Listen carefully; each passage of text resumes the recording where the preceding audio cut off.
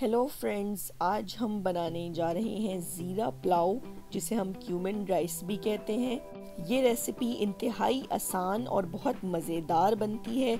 जो बिगिनर्स हैं स्पेशली उनके लिए ये बहुत इजी है फॉलो करना। मुझे उम्मीद है कि आपको ये वीडियो ज़रूर पसंद आएगी। सबसे पहले हमने चावल लेना है एक किलो। इसे हमने धोकर तकरीबन आधे घंटे के लिए पानी में भिगो के रख देना है। अब हम चावल पकाना स्टार्ट करेंगे। सबसे पहले हम एक कुकिंग पॉट में आधा कप तेल गरम करेंगे। अच्छे से गरम हो जाए तो हम खड़े गरम मसाले डालेंगे। बड़ी इलायची, तीन से चार अदद साबित काली मिर्च, एक चाय का चम्मच। उसके बाद छोटी इलायची, तकरीबन चार से पाँच अदद लौंग हम लेंगे छः से सात दाने। उसके बाद हम लेंगे सिया ज़ीरा। ब्लैक क्यूमन सीड्स आधा खाने का चम्मच और सफ़ेद ज़ीरा हमने ज़्यादा लेना है, डेढ़ खाने का चम्मच। साथ में हम तेज़ पत्ता यानी कि बे लीव्स दो अदद ये तमाम खड़े गरम मसाले हम तेज़ गरम तेल में डाल देंगे, उसको हल्का सा भूनेंगे। जब ये तमाम चीज़ें भुन जाएँ तो हमने प्याज डालनी है दो दरमियाने साइज़ की चॉप हुई हुई, को हमने ब्राउन करना है फ्राई करना है। फिर हम घी डालेंगे, एक खाने का चम्मच।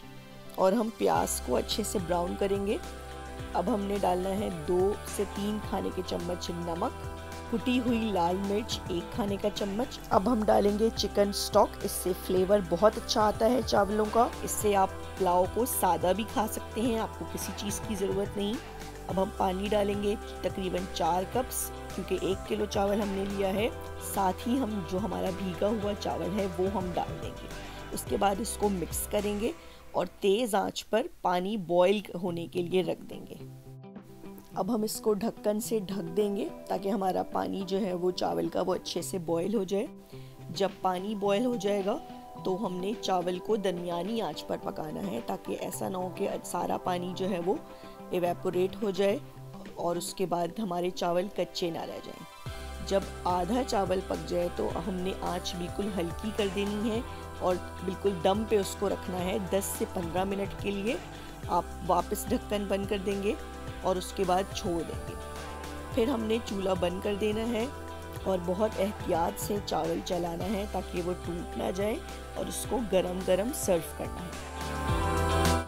ये देखिए मज़ेदार ज़ीरा पुलाव आपका तैयार है।